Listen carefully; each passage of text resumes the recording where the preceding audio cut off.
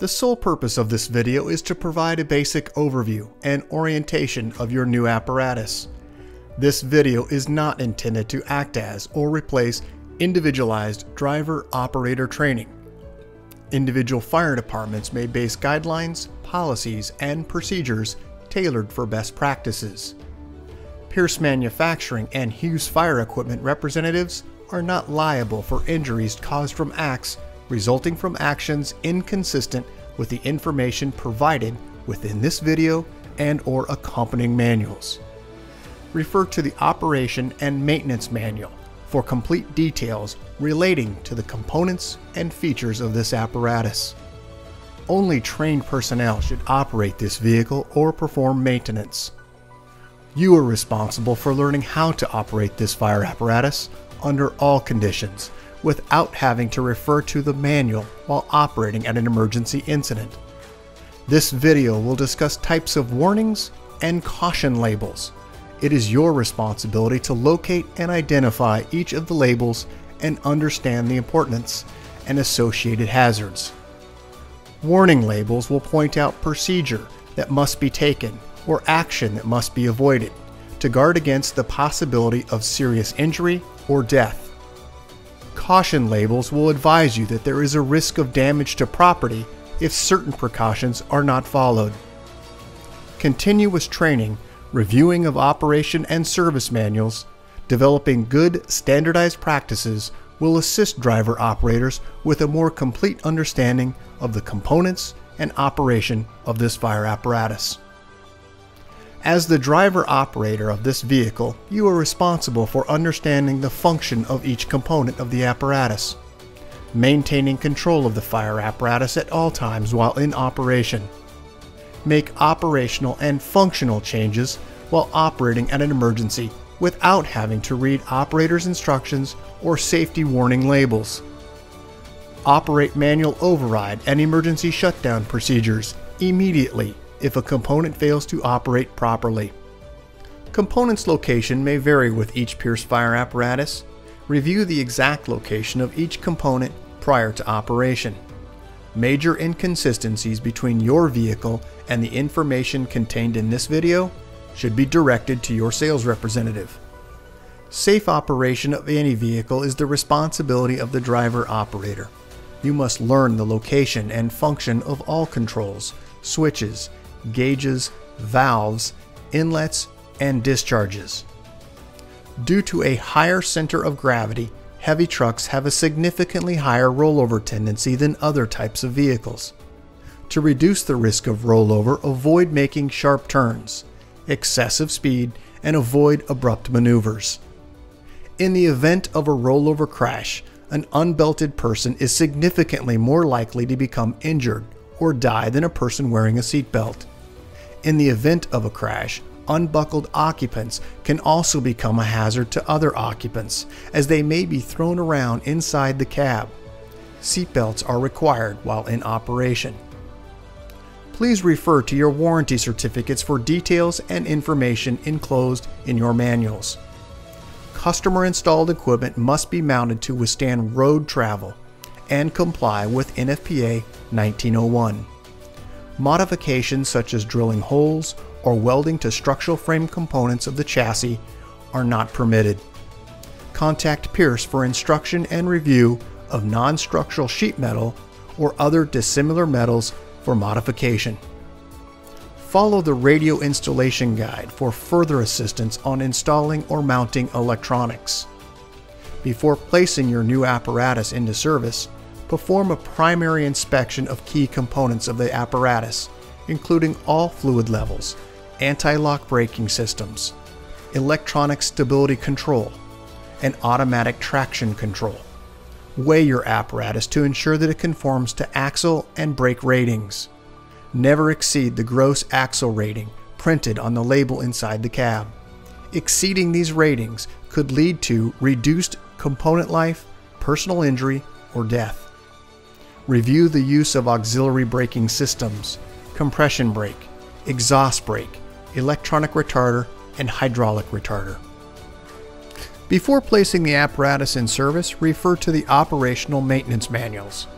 Information on the operation and maintenance functions for the components such as the pump, pressure governor, and foam systems along with other options is provided in either the Pierce manuals and or other manufacturer support information delivered with the apparatus.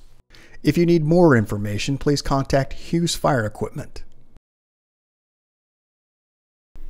Congratulations, Benton County, Washington, on your new Pierce Fire apparatus, job number 34943. Please utilize this five digit job number when referencing your apparatus with Hughes Fire Equipment and Pierce Manufacturing. We'll get started on a brief orientation of your new vehicle. Let's start at the front bumper area. Just under the front bumper, you'll find two open-ended tow hooks on the passenger and driver's side frame rail. Moving up onto the bumper face, you'll find dual air horns on the passenger and driver's side. As we move toward the center, you'll find your electronic siren and PA speaker. Just over the driver's area, face of the front bumper, is where you'll find your mechanical siren. As we move up onto the bumper extension, you'll find on the passenger side your fire bell. Just inside of that location, you'll find a swivel discharge. And located with inside the front bumper extension, you'll find a tubbed storage location for that front bumper load. Let's move up to the cab area where you'll find on the outer edge of the cab a turn marker indicator. Just inside of that location, you'll find your headlight structure housing a low and high beam headlight. The high beam is located on the inside. As we move up from that location, you'll find a turn arrow. Just inside of the turn arrow, you'll find an emergency warning light. Located directly in the center in front of the Pierce logo is where you'll find your three rotating lights. As we move up to the windshield, you'll find three windshield wipers across a seamless one-piece windshield. Moving to the outer edge, you'll find your mirror housing a flat and convex mirror. As we move up to the roof area or brow, you'll find five clearance lights across the very top. And as we move all the way to the roof area, you'll find your emergency warning light bar. Located with inside the light bar is your Opticom. Moving up onto the top directly behind the emergency light bar is where you'll find your two GOAD lights, one on the passenger and one on the driver's side. Let's take a look at some close-ups of the items we just talked about. This is the front discharge foam capable. As we look just toward the center area, you'll find tub storage location with netting dry deck material inside. Moving up to the Pierce logo area, you'll find your rotating three light emergency warning lights. As we move to the side of the vehicle, we're going to focus in now on the front section of the cab area. Let's start with the two lower side warning lights. As we move up from this location, you'll find the marker light, and then also you'll find your easily accessible door handles, which can be utilized with a gloved hand. And then also points of entry will have grab handles for gaining access in and out of the vehicle. As we move directly over the front axle, you'll find the number 48. And then moving up toward the handle is where you'll find the bullet style side facing camera. Directly behind that camera is where you'll find an auto eject plug for shoreline power. As we move all the way up to the very top, you'll find a side facing scene light. Let's take a look at some close-ups. Here's your camera and also 20 amp auto eject shoreline inlet. As we move to the pump area, you'll find in the lower section, you'll find two discharge drains located here. First, the foam pump discharge drain and the foam pump intake drain. Just inside of the walkway area is where you'll find on the passenger and driver side a step location for storage. It is vented. And as we move to the crosslays, you'll find an inch and a half lower and upper crosslay. Let's go ahead and review some of the items within the pump panel. We'll first start in the upper left-hand corner. Starting first with the number one side large diameter discharge. Moving just to the right, you'll find your Husky 3 foam system specifications placard. Next to it, you'll find an OK to pump indicator indicating a green light that your pump is properly engaged. As we move to the right, you'll find the Husky foam system. There are operating instructions on the module itself, 1 through 4. And as we move to the left, you'll find the green system on and off button. As we move downward, you'll find a digital readout for the foam percentage. And then you also find two buttons which are gray, increase or decrease. This will increase or decrease the foam percentage. Moving to the right, this is your prime button. And further to the right, you'll find a system status light, those lights indicating number four on the operating instructions for assistance. Moving further to the right, you'll find a schematic and also foam system instructions. And then further to the right in the red module, you'll find foam level tank A level indicator. Let's move just to the right of this location to the master gauges. This is the gray area. First on the left is your master intake gauge, and then to the right you'll find your master discharge gauge. Between the two of those gauges, you'll find the test gauge ports for vacuum and pressure. They're currently plugged and are for testing purposes. To the right, you'll find an engine cooler. This allows a right to left turn to open and close. It is not a pull. Moving down, you'll find your fire pump primer. It is an air push to prime, and you'll also find operating instructions just underneath that. 1000 RPMs for best practices. To the right, you'll find your light panel with a red air horn button, and to the left, you'll find an audible speaker. The outer edge of that bezel does allow you to dampen the sound. As we move further down the pump panel, you'll find all of our discharges. They are color coded and labeled, indicating also with a red indicator for foam. Moving further to the right, you'll find your pressure throttle governor. In the upper left hand corner, we'll start First with a check engine light if it is yellow in color illuminating. In the center you'll find a digital readout for the RPM. If illuminating it would be red in color is a stop engine light. As we move down you'll find engine diagnostic information. On the very far right of that engine diagnostic you'll find pump temperature. Moving further down you'll find the blue area module with inside. It is your water tank level indicator. And then to the right, you'll find a silence button allowing to silence any audible alarms that may be sounding from the pressure throttle governor. Just down from that, you have a menu button, which will allow you to scroll through the various functions of the pressure throttle governor. Moving down, you have two options, either pressure mode or RPM throttle mode. To gain access to either of those, it's through the blue control mode button. In the center is a digital readout and also an indication for the throttle ready will be a green indicator. And then further to the right, you'll find a preset button, which allows you to preset any pump pressures or RPM. Moving down, you'll find the throttle, right to increase, left to decrease, push in the center for idle. As we move down, let's cover some warning information. Fall hazard, never ride on the vehicle while it's in motion. As we move to the right, you'll find your tank to pump and also your tank fill and recirculating line.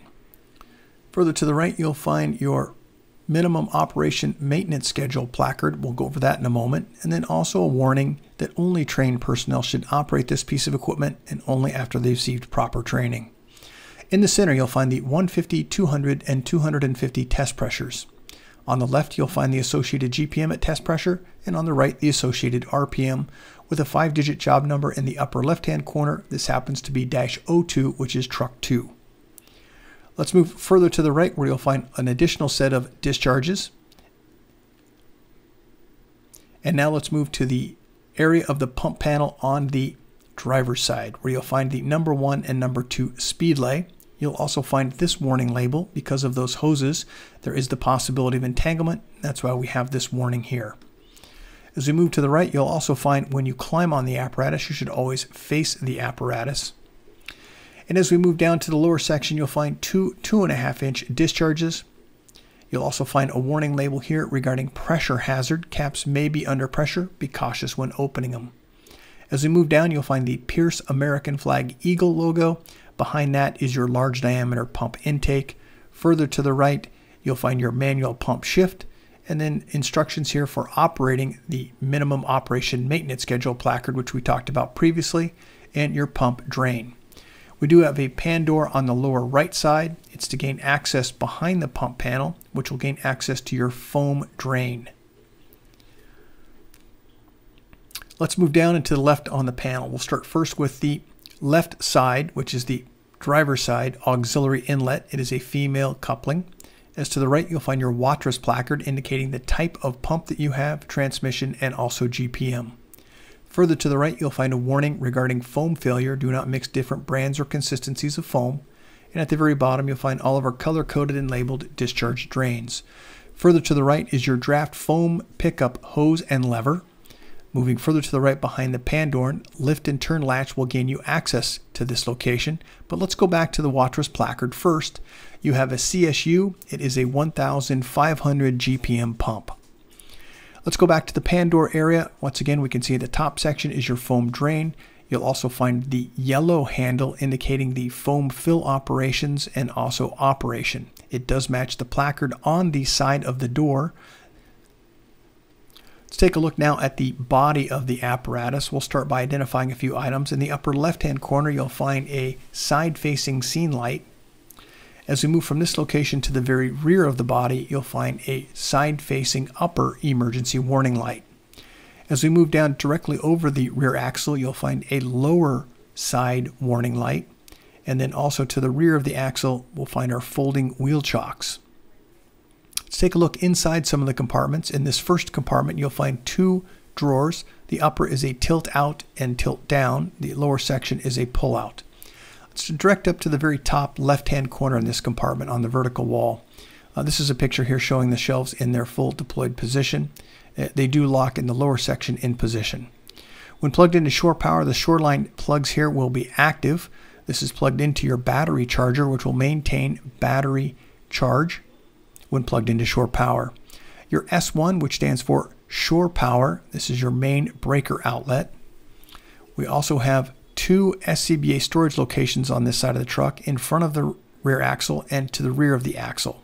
Once again, that emergency warning light. As we also look in this area, you'll find all of our fill locations. We'll, go over that in just a second here. We're currently being exposed to the silver fuel for ultra low sulfur diesel. As we move up to the top, you'll find D-handle gains access to the tool board. A couple close-ups of the SCBA storage location. Let's jump back now to the diesel fuel. This is the silver cap ultra low sulfur diesel fuel only. And as we move that lever downward, it exposes the 4.5 US gallon DEF tank, which is the blue cap. Let's move up into the compartment now with the tool board in the open or exposed position. You do have a locking latch to allow it to restore. Just simply lift the latch to return back to normal position. As we move to the rear compartment, you'll find a pull-out tool board. The lower section does have the release mechanism. And as I'd like to point out, in the upper right-hand corner at the rear wall, you're going to find a shoreline outlet. Once again, this will be active when you're plugged into shore power. Position here with the tool board in the full deployed position. Let's move to the rear of the apparatus. Start at the very bottom section. You'll find perimeter lighting at the rear tailboard area. You'll also find on the left and right your DOT required emergency light, stop, turn, and reverse light. You'll also find a cluster of three cupped switches. We'll go over those in just a moment. As we move up from that location, you'll find two lights, rear facing scene lights, and then also emergency warning lights.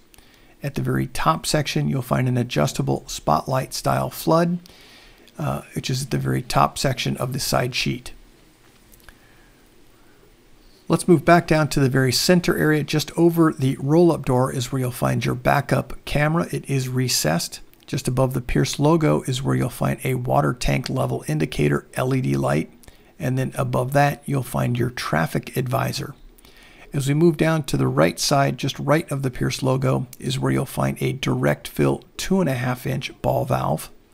And then moving further to the right, the D handle gains access into your ground ladders. I would like to point out there are also fold down steps on the left hand side and also right hand side of the interside sheet. And as we move up to the very far right, D handle gains access to our suction hoses at the very top. Here are compartments in the open position. You can see a pull-out tray in the lower section. Let's go back to those three switches. We have a rear scene light, hose bed lights, and also deck lights. Moving directly above this location is where you'll find the number one and number two rear pre-connected discharge. They are foam capable.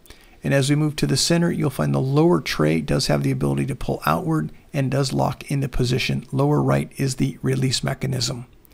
Some close-ups of the camera area. Let's start first with some warning labels. Once again, fall hazard. When climbing on the vehicle, always face the vehicle. Also, you should not ride on the vehicle while it's in motion. And then further to the right, we do have an entanglement hazard warning here uh, regarding those hoses coming from aloft to the hose bed. You'll also find a warning label here regarding pressure hazard. Once again, caps may be under pressure. Be cautious when opening them. As we move to the very center, you'll find your backup camera displayed from in the driver's area. And just above the Pierce logo is where you'll find your water tank level indicator. Further to the right is your ball valve. This is a direct tank fill, and the uh, drain is located just right of the ball valve. As we move to the ladder compartment storage, 24 foot roof, I'm sorry, 24 foot extension, 14 foot roof, and a 10 foot attic. We also find our 10 foot large diameter suction hoses. In the hose bed itself, you'll find the two discharges in the very front area. You'll also find top fill location for water and foam. Looking here, this is your water fill location for top fill if you choose to use it. And then on the foam fill location, we do have a warning label here regarding do not mix different brands or consistencies of foam for the possibility of foam failure. As we move to the booster line, in the very front section here in this image, you'll find a tension or free spool knob. You'll also find a location to insert the tool for manual rewind.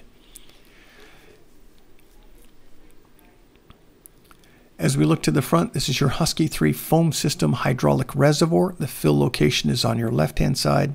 Moving back to the right, you'll find your master stream device and then also your booster line. As we move to the rear section, you'll find tank level for A and also water fill location. And you'll also find hose bed dividers. There are three located in the very rear section of your apparatus. Let's take a look at the cab area. This is a non-walking surface, and that's why we have these two warning labels here. Do not walk in this area. It is extremely slippery. Let's move around now to the passenger side of the vehicle. Start at the rear compartment. Compartment door open. At the very bottom, you'll find a pull-out tray, release mechanism on the right. This is in the deployed position. It will lock into position. Let's move up to the very top section of this compartment where we'll find when plugged into shore power, this 20 amp outlet will be active.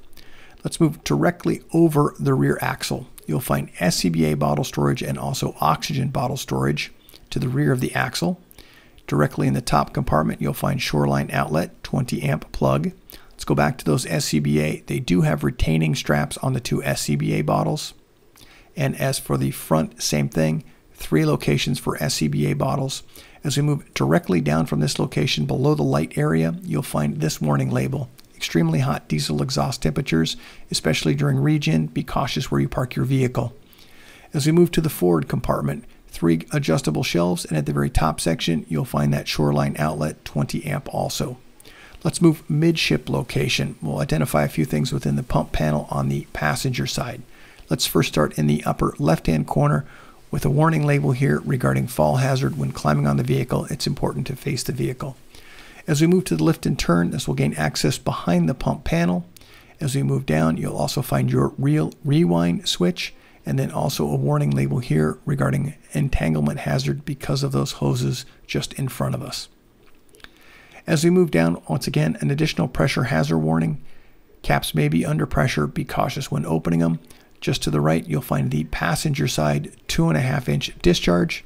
Moving further forward to the cab lift module, there are instructions for raise and lower, and also some danger information and warning regarding the movement of that cab. As we move down to the lower section, you'll find this is the access panel for gaining inspection behind the pump panel. As we move further down into this inspection panel, we'll talk a little bit about that when we've got an image to show what's behind it. But on this side, we have the Pierce American Flag Eagle logo, large diameter pump intake, and then just to the right, we have our large diameter pump discharge. Let's take a look inside is where you'll find your relief valve. You can see the set screw on the side. And then let's move downward from this location. You'll find all of our discharge color-coded drains and also the right side auxiliary inlet. You also have a step location. Inside that step area, you do have additional storage. As for the front section on the passenger side, same configuration except for the plug-in shoreline power. Let's move inside into the officer space. We'll first start with the door panel. All of our safety and warning information is located on the door panel. As we move to the front section, A pillar, you'll find at the base your fill location for your windshield wiper fluid. Your vehicle also is equipped with that front bell, and this is the rope for controlling it. The vehicle also is equipped with a supplemental restraint system, airbag, Please do not mount anything within this area. As we move to the left of the officer's dash area, you'll find air horn, mechanical siren, and siren brake. You'll also find 12 volt access via USB and also barrel style. As we look overhead, you'll find push on and off either white or red lenses. Let's go ahead and take a look at some of the other items. In the front panel, you'll find your AM FM weather band radio, set of switches housing emergency master, driver side scene, passenger side scene, rear scene, and then this is the control module for your go light on and off and a joystick. This will be for the passenger side go light. Let's move around now to the driver's side of the vehicle. As we look inside, affixed to the door panel, we'll find all of our safety and warning information. You'll also find your latch and door lock and also window control. As we move down to the step area, you'll find your air inlet fill. At the base of the seat, you'll find when plugged into shore power, your battery voltage indicator will be active. I'd like to point out in the upper right hand corner in this image, this is a yellow placard manufactured by Pierce for your department. It has the date of manufacture, five digit job number, gross vehicle weight rating, cold tire inflation, VIN number, and all of the fluid capacities for each component, the type of uh, fluid, and also fluid types. Let's move about the floorboard left knee area. As we start, we'll first start on the left hand side with the set of switches down at the lower section, ABS diagnostics, DPF regen, engine diagnostics, and regen inhibit. Those are all part of the engine transmission ABS J1939 diagnostic port, and then your master battery switch. Let's move up from this location where you'll find your pump shift. We do have instructions on this module for road to pump and then also from pump to road. For pump operations before exiting the cab, you'll need pump engaged and OK to pump, both green indicators illuminating for pump operations. Let's move up from this location. On the left-hand side, you'll find the start and ignition switch. Just inside of that location, you'll find an EM switch, which stands for Emergency Master. This will engage or disengage all emergency lights. To the right, your headlight, and also further to the right, a panel switch, allow you to brighten or dim lights within preview of the operator. Further to the right, your high idle indicator and OK to engage the high idle switch. And to the left, you'll find your transmission oil, DEF level, and water temp.